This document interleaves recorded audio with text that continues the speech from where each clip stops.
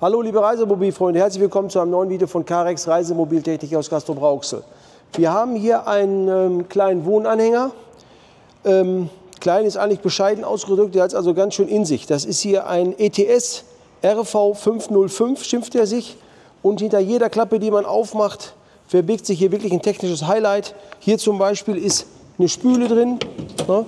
sogar hier mit Beleuchtung, dass man hier auch abends, ne, schön, haben sich gut ausgedacht, dass man das Ganze auch beleuchten kann, dass man weiß, was man spült oder was man wäscht. Hier hat er so ein kleines Gaskochfeld mit einer kleinen Glas, Gasflasche bzw. Pulle. Ups. Ja, das ist alles hier spitz auf Kopf. So, dann guck mal hier in dem Fach hier. Hier sind zwei Batterien drin. An der Seite hat er noch einen Wechselrichter. Da oben drüber befindet sich noch ein Solarregler. Dann hat er hier noch eine Steckdose. Da oben ist der Batterietrennschalter. So, dann geht es hier weiter. Hier hat er noch zwei Staufächer. Reserverad. Hier haben wir noch ein weiteres Fach. Hier ist dann der Landstromanschluss in Verbindung mit einem äh, Kompressor. Wofür der jetzt genau da ist, weiß ich gar nicht. Was ist das hier? Nee, hier ist ein Wechselrichter. Das ist ein Wechselrichter hier. Das andere Teil müsst ihr mal gucken. Nee, gar nicht wahr. Das ist hier ein Ladegerät. 40 Ampere Ladegerät ist das. Für die Batterien, die wir gerade gesehen haben. Hier hinter haben wir noch eine, eine Dieselheizung, eine Dieselluftheizung, die da verbaut ist. Muss man auch sagen, ist alles ordentlich gemacht. Also ich kannte die Firma bis jetzt noch gar nicht. Hier haben wir die Heizung. Hier unten haben wir die Außendusche. Das ist aber auch alles hier. Guck mal hier, das ist alles wirklich, ist wirklich schön gemacht. Dann haben wir noch ein weiteres Fach hier vorne, ein Staufach. Verlängerungskabel, ja, und halt alles so, was man mit sich führen sollte. Da vorne ist noch ein kleiner Feuerlöscher mit drin. Hier vorne haben wir noch mal auf der Deichsel noch ein großes Staufach. Was da drin ist, weiß ich nicht. Kommen wir jetzt auch nicht dran, weil wir es hier vorne ausgeklappt haben. So, was müssen wir an dem Fahrzeug machen? Ihr seht schon hier die Kartonage. Wir müssen hier, der hat hier noch einen Tank, sehe ich gerade hier. Also der kriegt eine Klesana. Das ist nochmal ein Kraftstofftank. Ja sicher, guck mal hier, mit Benzinhahn alles. Der hat noch mal irgendwo noch mal einen Generator. Vielleicht sitzt er auch da unter dem Staukasten drin, ich weiß es nicht. Möglich ist es. Der da noch einen Auspuff oder so unten drunter? Einen Druckluftanschluss haben wir hier. Hat er auch. Also irgendwo wird er noch einen Generator oder irgendwas haben. Ne? Weil hier vorne sieht man auch, hier vorne haben wir noch mal einen Druckluftanschluss. Ja, ja, interessant auch für uns, weil wir müssen diese Klesana hier da einbauen. Der hat also hier drin nur eine kleine, ich gehe mal hier schon mal rein, jetzt nehme ich hier drin eine kleine Nasszelle. So, dies, hier ist natürlich hier drin, ist alles sehr, sehr eng bemessen. Ähm, hier war also gerade noch ein recht großes, geräumiges Bett aufgebaut. Das habe ich gerade mal zurückgebaut. Dann geht dieser Tisch mit so einer Kurbel, kann man dann hochkurbeln. Und dann hat man hier eine richtig, richtig große ähm, ja, Sitzgruppe. Ja, aber hier in dem Bereich spielt sich für uns unser Aufgabenbereich ab. Wir werden hier eine Klesane einbauen. Dafür haben wir auch hier unsere Möglichkeiten, dass wir mal hier anpassen können. Wichtig ist, dass wir das mit dem Kunden vorher abgesprochen haben, dass diese Nasszelle hier künftig auch nicht mehr als Nasszelle genutzt werden kann. Weil in Verbindung mit der Klesana und mit der Elektronik, die in der Klesana drin ist, ähm, verträgt sich das nicht. Und das haben wir jetzt gerade mit dem Kunden abgeklärt. Er sagte, er wird hier drin nie duschen, hat er nie vor. Ähm, deshalb können wir auch über den, über den Abfluss könnten wir also auch die Klesana drüber setzen, brauchen wir aber nicht. Wir werden hier mit einem L-Sockel arbeiten, hinter kommt dann die Kabeldurchführung für die Stromversorgung und so hier ungefähr in dem Bereich, so irgendwo wird dann die Klesana sitzen. Ne?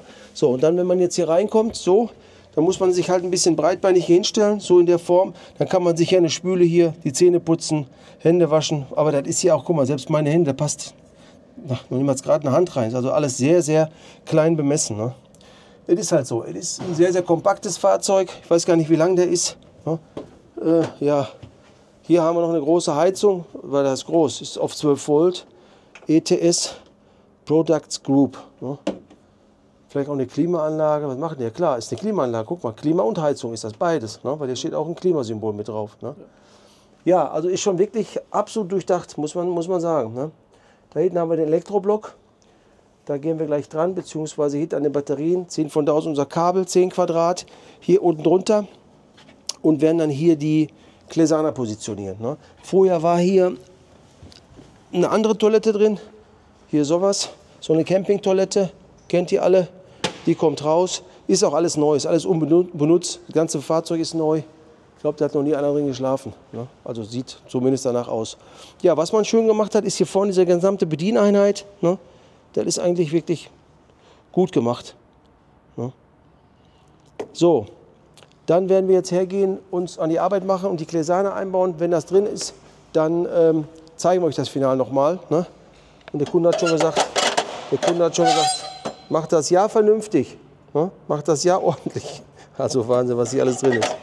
Ja, in dem Sinne, ein kleiner Cut für euch, ein etwas größerer für uns und dann sage ich bis später. Liebe Rasermobilfreunde, der kleine Wohnanhänger ist fertig, den hat jetzt von uns die Klesana bekommen. Zeige euch einmal, wie das aussieht. Schaut mal hier. Jetzt geht mein Handy. Muss ich einmal kurz wegdrücken, da rufe ich gleich zurück. So, ja, hier sind natürlich die ähm, Platzverhältnisse extrem, extrem eingeschränkt. Ne? Das ist ja normalerweise in der Nasszelle. Deshalb haben wir auch hier oben nochmal so einen Hinweis gemacht. Achtung, Raum nicht als Nasszelle benutzen. Klesana, Ausrufezeichen. Ne? Weil hier hinten, hinter der Klesana ist also auch ein bisschen Elektronik drin. Das darf natürlich nicht nass werden. Ne? Deshalb kann hier das so in der Form nicht mehr als Duschraum benutzt werden. Da ist ja auch ein Abfluss, seht ihr auch hier vorne. Ne? Der kann also künftig nicht mehr so benutzt werden. Weiß der Kunde auch, er sagt, ich werde auch nie drin duschen. Deshalb auch die Klesana. Wir sagen, okay, dann machen wir das. Trotzdem nochmal ein Hinweisschild, falls das Fahrzeug doch irgendwie verkauft wird oder so. Wer weiß, dass derjenige, der das Fahrzeug erwirbt, dann auch Bescheid weiß, dass ähm, das hier nicht als Nasszelle. Ich wüsste jetzt aber auch gar nicht, wie man hier noch drin duschen sollte. Das ist ja wirklich alles sehr eng. Ne? Weiß ich nicht, keine Ahnung. Wie kann ich euch das denn mal demonstrieren? So, so kann man ja, also man könnte hier drin auch gar nicht mehr duschen, das ist einfach zu eng. Selbst jetzt hier beim Toilettengang müsste hier die Tür offen bleiben. Ne? Anders es nicht. Aber das haben wir dem Kunden alles vorher gesagt. Haben gesagt, pass auf, wenn die Gläsana drin ist, hast du hier wirklich fast keinen Platz mehr drin. Ähm, ist alles so abgesprochen, ist alles so genehmigt. Ob das so Sinn macht, ob das der ein oder andere gut findet oder nicht, weiß ich nicht. Muss jeder für sich selbst entscheiden. So, das Display haben wir hier vorne hingesetzt. Hier ist auch alles Metall. Seht ihr hier auch? Ne? Wenn ich jetzt hier den Deckel aufmache, dann leuchtet hier auch alles. Ne? Da ist das Display verbaut. Dann haben wir kann ich euch mal zeigen, hintenrum auch ein Löchchen gebohrt, haben dann das Kabel von da aus durchgezogen. So, es geht dann hier lang. Natürlich auch alles im vernünftig in Schutzrohr, ne, geht hier hoch. Ne? Die Gläserner-Verbindung geht hier durch, geht dann hier lang, hier durch, unter der Sitzbank, hier vorne lang. Das ist die alte Toilette, die kommt wieder rein. Und dann haben wir hier vorne in dem Bereich, haben wir, wo eh, eh schon die Batterien alles drin sind, haben wir dann die Sicherung für die Gläserner gesetzt. Ne? Sicherung und einmal die ähm, Abschaltung, weil die hat auch einen ganz kleinen Ruhestrom. Wenn man das nicht mehr haben möchte, dann drückt man einfach hier drauf, zeige euch mal, zack, ne? jetzt ist die Klesana stromlos. Ne? Und so in dem Fall ist jetzt wieder eingeschaltet. Ja. So, mehr war das ja an dem Fahrzeug nicht, nur ein kleiner Auftrag, nur die Klesana haben wir gemacht, aber wie gesagt, der ist von der Ausstattung her wirklich top. Wie ein, wie ein, wie ein Reisemobil, angefangen von der Markise bis hin zur Dieselheizung ist hier alles drin. Ne? Top gemacht und wirklich ganz, ganz, ganz kompakt das Fahrzeug. So, das soll es gewesen sein von uns für dieses Fahrzeug. Ich wünsche euch alles Gute, passt auf euch auf, abonniert unseren Kanal. Den Link dafür findet ihr unten. In dem Sinne, alles Gute, euer Karix-Team.